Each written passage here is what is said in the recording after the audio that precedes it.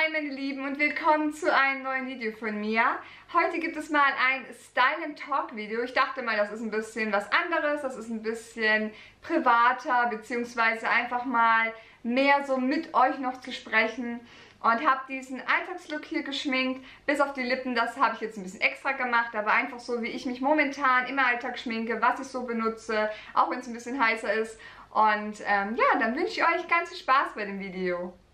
Ja, und so sehe ich ungeschminkt aus. Seid nicht irritiert, wenn ich gleich hier immer wieder runterschaue, weil ich da meinen Spiegel stehen habe. Und wenn ich den hier hochstelle, um ungefähr auf eurer Sicht zu sein, dann ist es natürlich mega blöd, weil da dann einiges von dem Bildschirm verschwindet und so. Und deswegen habe ich den ein bisschen weiter runtergesetzt und habe meine ganzen Schminksachen hier unten. Und werde nebenbei einfach ein bisschen so erzählen, was gerade los ist, was ich mit euch noch besprechen wollte. Und dann ist das so vielleicht so ein Vlog-Ersatz, wo ich ein bisschen erzählen kann und werde gleich dazu was sagen, warum ich auch nicht so gerne Vlogs drehe und so weiter. Aber vielleicht ist das so eine kleine Alternative für euch. Die Produkte werde ich wie immer in die Infobox schreiben, da wisst ihr dann Bescheid und zu ein paar Sachen werde ich was sagen, wenn es was Besonderes zu sagen gibt. Ansonsten, ja, war's das und ich wünsche euch ganz viel Spaß dabei. So, ich beginne mit meinem Concealer, der hier abgefüllt ist. Das ist der MAC Concealer in der Farbe NC30. Dieser, ach wie heißt der wieder, der so mega beliebt ist. Jetzt habe ich sogar selber schon vergessen. Studio Fix oder der andere, Pro Longwear. Ich glaube, das ist Pro Longwear. Und die kann man so mega gut bei Ebay kaufen, um es einfach mal zu probieren, weil die ja schon teuer sind. Und wenn man da die falsche Farbe erwischt, dann hat man eben die falsche Farbe und das war halt mega die Geldverschwendung. Deswegen kaufe ich das in so kleinen Döschen, da ist dann so ganz wenig drin und das benutze ich aber schon drei Wochen lang irgendwie. Und das ist mega gut, um es erstmal auszuprobieren. Und es ist mega ungewohnt, hier vor der Kamera sich zu schminken, weil man dann doch ein bisschen weiter weg ist vom Spiegel und man das Gefühl hat, durch die Beleuchtung und so, ähm, dass das alles ein bisschen anders ist. Also ich muss mich da auch wieder dran gewöhnen. Das ist ja schon ewig her, dass ich meinen Style and Talk gemacht habe. Und selbst da war es dann auch gar nicht regelmäßig. Ja, und heute habe ich echt ein bisschen Augenringe. Und ich drehe das Video auch gerade abends, weil ich sonst gerade echt nicht dazu komme, das morgens zu drehen. Ähm, ja, deswegen dachte ich mir, egal, muss es gleich wieder abmachen, aber ich dachte für euch mache ich das jetzt einfach mal. Ansonsten versuche ich das immer zu kombinieren, dass ich morgens noch Zeit habe, ein Video zu drehen und das dann so benutzen kann, dass ich zur Arbeit gehe. Aber egal, ich kam jetzt eben nicht anders dazu. Ähm, worüber ich mit euch auf jeden Fall reden wollte, ist YouTube allgemein. Also es häufen sich die Anfragen nach irgendwelchen komischen ähm, YouTube-Formaten, die ich eigentlich nicht auf meinem Kanal so gerne zeige, weil ich das nicht so gerne unterstützen möchte. Und zwar einfach mal querbeet alles, was Clickbait beinhaltet, also Titel, die mega ansprechend sind im ersten Moment, weil irgendwas passiert ist, ob positiv, ob negativ, meistens dann sogar eher negativ.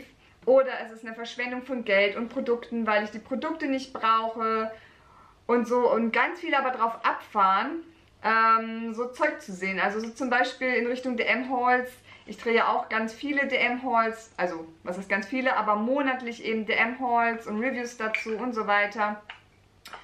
Und äh, ja, die wollten dann so ein Live-Haul haben und so weiter, also dass man das so live einkauft, beziehungsweise ihr bestimmt dann, was ich einkaufen soll nach Lust und Laune, also nicht irgendwelche Produkte, das wäre wenigstens noch toll, irgendwelche Produkte, die ihr super findet, wo ihr mir echt empfehlen könnt. Nein, es sind dann so, gehen das dritte Regal und äh, von dir links und lauf noch 10 Schritte weiter und dann nimm das fünfte Produkt aus der zweiten Reihe oder so.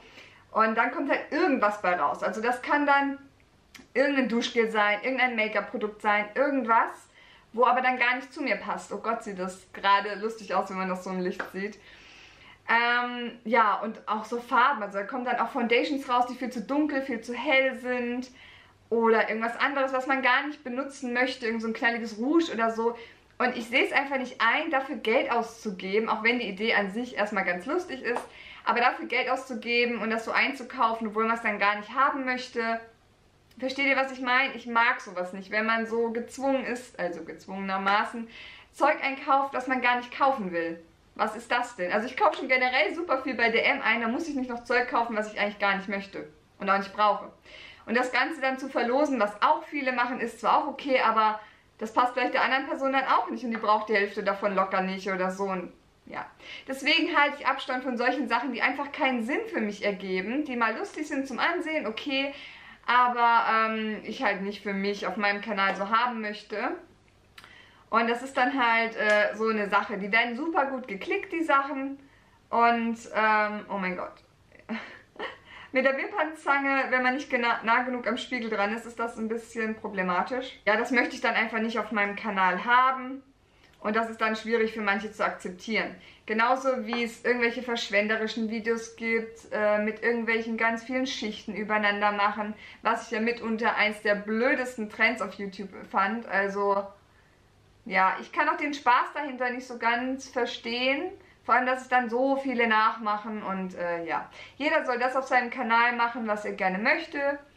Und das ist ja dann soweit auch okay, aber ich möchte das halt nicht, weil ich auch nicht so viele junge Zuschauer habe, die dann so einen Quatsch angucken, habe ich so das Gefühl und sagen mir auch die Statistiken. Deswegen, ähm, ja, lasse ich so ein Zeug eben und bin davon auch nicht so begeistert. Oh ja, was ich auch gar nicht mag, ist von irgendwem, ob das Freund ist oder sonst wer, Sachen bei Amazon bestellt, die irgendwie nur einen Euro kosten oder wisst ihr, einfach so Sachen, wo gar keinen Sinn ergeben, wo ich äh, das nicht bestellen möchte. Was soll ich mit dem ganzen Müll, sag ich mal, dann daheim? Warum? Ehrlich, Leute, warum macht man das? Gott, sieht das komisch aus, wenn man so die Wimperntusche aufträgt irgendwie. Äh, voll, als könnte man es nicht, aber ich trage die so immer auf und das funktioniert eigentlich ganz gut. Ah ja, also dann ist mir das Geld auch zu schade.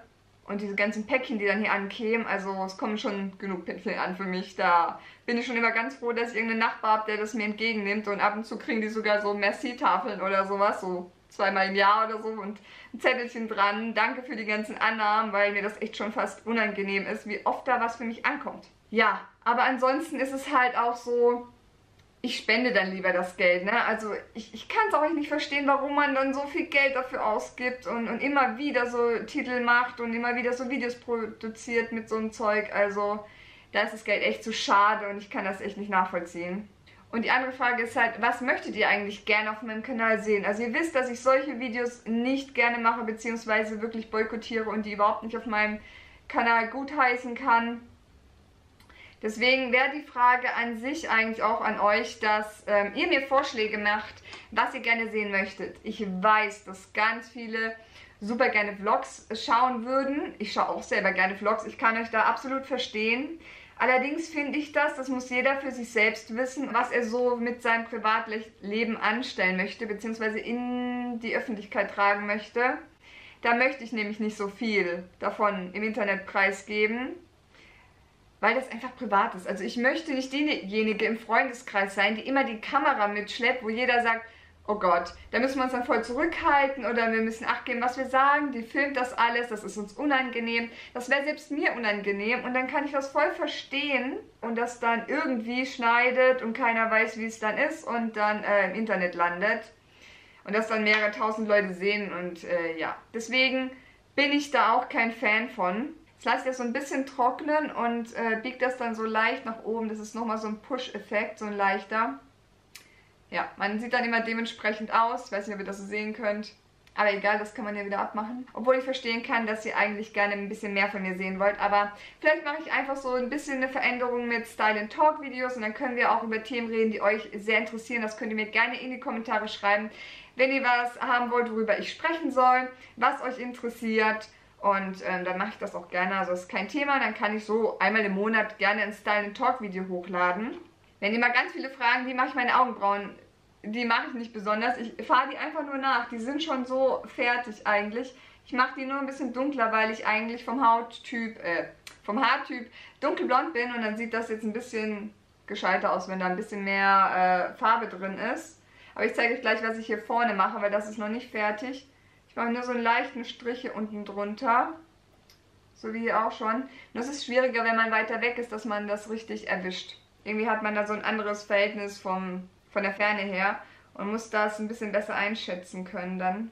Ich mache jetzt auch keine Foundation drauf, wie ihr vielleicht gemerkt habt.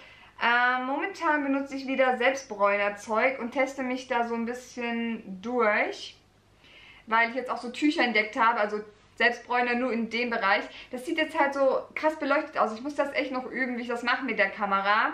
Weil eigentlich, ja, jetzt kommt es vielleicht ein bisschen besser rüber, bin ich so wie so ein bisschen gebräunt einfach, aber mit Selbstbräuner, der jetzt nicht so krass ist. Wobei ich da auch Acht geben muss. Es gibt halt manche, die sind nach vier Stunden schon krass, manche, da sieht man nach vier, fünf Stunden noch gar nichts. Und da teste ich gerade verschiedene wieder und habe jetzt so Tücher entdeckt, die gerade fürs Gesicht, Halsbereich sehr gut geeignet sind. Das kann man einfach so ein bisschen drauf machen und über Nacht einwirken lassen, das ist mega cool. Und die werden dann auch nicht so, so stark und man kann es aber auch aufbauen, wenn man möchte. Und das geht dann auch wieder relativ gleichmäßig ab. Und das ist mir auch ganz wichtig, dass ich nicht nach zwei Tagen aussehe wie so eine geschickte Kuh oder sowas. Ja, deswegen benutze ich gerade keine Foundation. Das ist sehr angenehm, gerade wenn es so heiß ist und so. So, jetzt ist meine Mascara ein bisschen besser getrocknet. Jetzt kann ich auch diese Überreste wegmachen, weil ich verpatze das immer hier so am Auge. Und nach dem Trocknen äh, kann man das super wegmachen, da braucht man auch gar keinen Make-up-Entferner. Jetzt muss ich nur meine unteren Wimpern noch tuschen, weil ich benutze seit einer Weile auch keine, äh, kein Kajal mehr, sondern benutze nur ein bisschen Wimperntusche. Da muss es allerdings wasserfeste sein, sonst sieht das richtig doof aus, wenn ähm, ich mal kurz drankomme oder so oder mein Auge tränt. Und das macht es morgens sehr, sehr gerne. Deswegen benutze ich immer nur so ein bisschen Wimperntusche, dass man so ein bisschen einen dunkleren Schleier hat, aber ich verpatze immer wieder. Seht ihr das? So ein kleines bisschen, aber das macht nichts, das lasse ich wieder trocknen, gehe mit dem Wattestab ähm, drunter, Stäbchen, besser gesagt, dann geht das wieder. Aber das macht dann schon ein bisschen Effekt, ne? Also gerade so ein kleines bisschen, das sieht dann wacher aus wie hier. Und was halt auch gerade momentan ganz gut ist, dass meine Haut sich bessert. Also ich habe so ein paar rote Stellen hier und hier. Da waren ja richtige Ausbrüche, Pickelausbrüche vom Feinsten bei mir. Einfach so, die habe ich gemerkt, das zieht sich zusammen, das tut mega weh und zack waren sie da. Und dann hatte ich die Gesellschaft so im Schnitt zwei Wochen, wenn es schlecht läuft. Wenn es gut läuft, eine Woche. Vieles wird jetzt wahrscheinlich von dem Absetzen der Pille kommen, obwohl das echt schon, ja, das Ausschleichen habe ich im Oktober begonnen. Im Dezember war ich dann fertig. Ja, deswegen, das haben jetzt ganz, ganz viele, weil gefühlt jeder die gerade absetzt. Und ich gehe mal mit einem weißen Kajal hier auf die Wasserlinie, weil ich sonst manchmal echt so müde aussehe. Und das rosa hier unten drunter ist. Und mit diesem weißen Stift kann man das super kaschieren. Das sieht dann gleich ein bisschen ähm, frischer aus. Ja, dann habe ich noch ein bisschen Bronzer, ähm, der auch fast leer ist nach über vier Jahren. Ich glaube, ich habe es mir irgendwann 2013 zugelegt. Wenn nicht sogar 2012, aber ich glaube, es war 2013. Und krass, da ist immer noch so ein bisschen Rest dran mega, obwohl ich das echt fast täglich benutze. Ja, und so ein paar Pickelausbrüche habe ich noch. Das sieht in der Kamera gar nicht so schlimm aus, aber in Namen und selber empfindet man es natürlich immer ein bisschen als schlimmer. Vielleicht decke ich das noch ein bisschen ab, aber momentan ist es mir auch regelrecht egal. Also ansonsten bin ich recht zufrieden. Es gibt manchmal Momente, da habe ich hier so mehr Pickel, wo ich mir auch denke, hallo, wo kommt ihr alle her?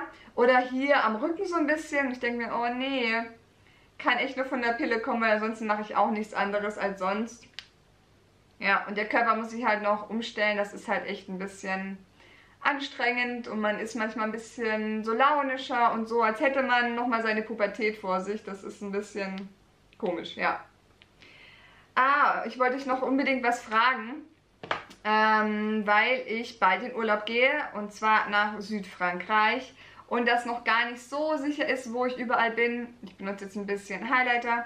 Also ich weiß, dass es Südfrankreich wird, aber wo genau, weiß ich noch nicht, weil ich da mit meinem Freund hingehen werde und wir so zehn Tage geplant haben und eben in Nizza starten werden. Und ich einfach mal so ein paar Tipps noch von euch wollte, was muss man unbedingt gesehen haben und was eher nicht, was könnt ihr empfehlen. Also wir sind so in Nizza und dann Saint-Tropez, die ganze Côte d'Azur da entlang und ähm, ja, wollen dann halt so rüber bis nach Toulouse. Also Toulouse fliegen wir dann wieder ab. In Cannes sind wir auch noch, also das sind so diese schickimicki-Gegenden, aber vielleicht auch so ein bisschen paar ländliche Sachen oder Attraktionen, die man gesehen haben muss und ihr wart bestimmt schon oder einige von euch in Südfrankreich, deswegen könnt ihr gerne Tipps unten in die Kommentare schreiben, wo ihr schon gewesen seid und äh, wie es euch gefallen hat. Oder kennt ihr besonders gute Strände oder schlechte Strände oder so. Ich brauche einfach noch ein paar Erfahrungen, weil komischerweise im Freundeskreis gar nicht so viele in Südfrankreich waren. Die waren gefühlt überall in der Welt, aber da gar nicht so sehr. Jetzt habe ich natürlich mein Lippenprodukt vergessen, voll komisch. Eigentlich hätte ich jetzt noch ein bisschen Eyeliner aufgetragen. Aber ich weiß jetzt schon gar nicht, wie lange das Video geht. Ich sehe das nicht so richtig hier. Ich muss das noch ein bisschen einstellen in der Kamera. Aber mein Lippenprodukt habe ich vergessen und im Alltag trage ich auch keinen ja, Eyeliner. Eigentlich trage ich im Alltag auch nicht mehr als das. So ein bisschen ähm, Highlight und so ein bisschen Kontur ist okay. Und Wimpern und Augenbrauen mache ich auch. Und manchmal pudere ich noch so ein bisschen ab. Aber mehr als Lippenpflege mache ich auch nicht drauf. Aber ich hole jetzt nochmal einen Lippenstift, damit das so ein bisschen vollendender aussieht. Moment. So, dann habe ich hier von Trended Up, oh Gott, ich liebe den. Also, das könnte auch ganz locker so ein MAC-Ding sein. Da hat mega gut die Qualität. Also, wir haben auch nur das erste Hotel gebucht und so einen Mietwagen uns geholt, dass wir flexibler sind, weil so auf Busse warten in Urlaubsländern, das ist immer so eine gewagte Sache. Das hatten wir jetzt auch schon ein paar Mal. Das geht einfach nicht gut. Also, ja, die kommen nicht und fahren komisch. Und deswegen haben wir gesagt, wir mieten uns ein Auto und gut ist und erkunden so ein bisschen auf eigene Art. So, ich glaube, ich habe es jetzt. Ja, ich mache noch die kleinen Stellen hier ein bisschen weg mit, ähm, mit dem Concealer wieder, weil das stört mich schon und im Alltag mache ich das auch so ein bisschen. Und gerade so ein bisschen abdecken, das sieht dann, dann nochmal besser aus. Ja, also, das war's nun. Das ist so der geschminkte Alltagslook von mir bis auf den Lippenstift. Ich hoffe, dass es euch gefallen hat und ähm, wenn ihr Kommentare schreiben wollt über die nächsten Themen, die ich ansprechen soll, dann schreibt das gerne rein. Und wie ihr vielleicht so die Meinung habt zu diesen komischen Clickbait-Videos und ähm, ja, wenn man eben so viel Geld im Produkt verschwendet, das würde mich einfach interessieren, wie meine Community darüber denkt. Und äh, ja, dann hoffe ich, es hat euch gefallen und bis zum nächsten Mal. Tschüss!